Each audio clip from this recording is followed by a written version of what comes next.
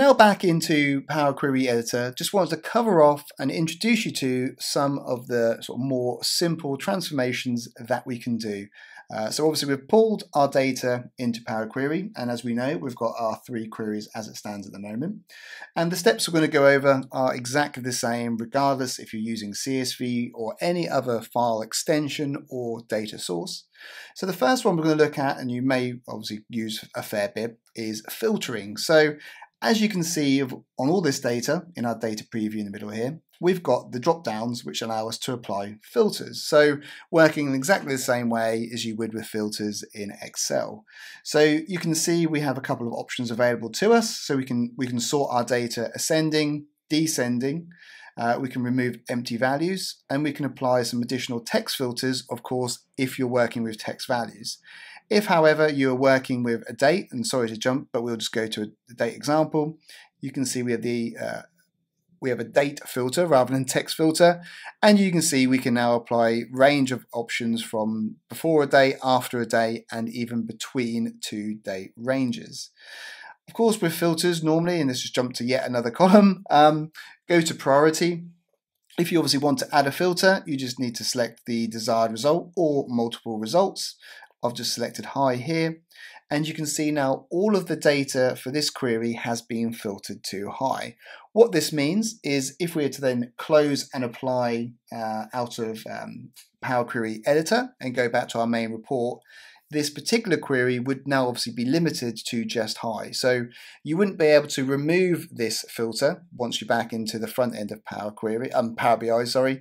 Uh, so obviously any uh, changes, transformations, filters like this you do here are obviously going to be, you know, restricting the data when you get into the front end. So obviously just one to bear in mind, but particularly useful, especially if you've got a large volume, volume of data and you only need, uh, you know, a subsection of that.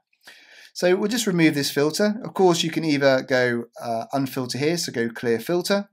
And so, yeah, obviously it's removed the filter, but just to do an alternative to show you what's going on, when I first select my high and then go OK, just take a note of obviously our applied steps over the right hand side here, because as you'll see, as I click onto OK, you can see that this filter has also now been captured as a step. So obviously it gives us the full traceability of what's happened and you can either remove your filter from the specific column as I did just here or all you need to do is just delete that step and of course it goes back to how it was. One other simple um, transformation, well not really a transformation but uh, an amendment you might want to make to your data is removing columns if they're not applicable. So if you've pulled, like I say, we've done here for this CSV file, we've pulled every single column available to us in that file. But maybe we you know we don't want one of these particular columns. Let's say customer ID we have no need for that. All we need to do is right click and click on to remove. You can see a new step has now been created to remove that column and it has again been removed from our data set which of course will be reflected in the front end of Power BI we can now obviously remove that step over here. And somewhat the inverse of that is if we only maybe had a couple of columns that we wanted to come through and almost remove everything else, all we need to do is select either the single column or I'm just going to hold down the shift button and select you know the third column. So you can see I've selected those first three columns. We can right click and go remove other columns. And now what's happened is everything other than our selections has been removed and again I was going to remove that one here. So a couple of options I'm sure you'll probably find useful useful there. And then lastly you can see I won't go into all of these because it could take forever but if you select one of the columns or even the table as a whole I'll just right click clicked on description here. You can see the range of other options we have available to us. So removing of duplicates could be another interesting one.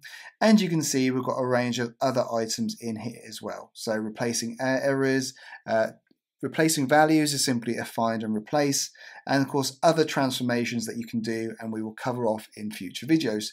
So finally, if I was to right click on description, of course this works for any of the columns, you can see we have a range of additional options to us. So we looked at removing a column or removing other columns, but as you can see, there are a range of other options available to us, all the way from removing duplicates, uh, replacing values, so somewhat like find and replace in Excel, and a range of other options available. So it'd be my suggestion at this time to get back into Power Query yourself if you haven't done so already, and just have a play around with the two scenarios that we looked at with filters and removing columns, and also maybe have a play around with some of these other options just to familiarize yourself with what is available. If you have any questions at all with this or future videos, please just drop a comment below the applicable video and I will get back to you as soon as I can. And lastly, if you do enjoy these videos, please don't forget to hit that like button. It's not only greatly appreciated by me, but it does help that all important YouTube algorithm enabling other people to also find these videos as well.